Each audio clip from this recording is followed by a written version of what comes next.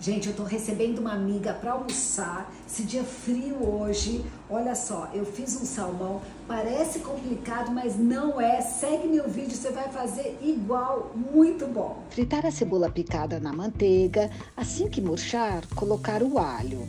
Em seguida, colocar vinho branco e deixar secar. Quando secou, entrar com as folhas de espinafre e mexer até murchar. Colocar cream cheese queijo parmesão e temperar com sal e pimenta do reino.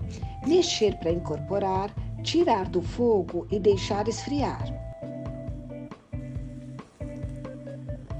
Abrir a massa folhada e colocar o pedaço cortado em cima de um papel manteiga.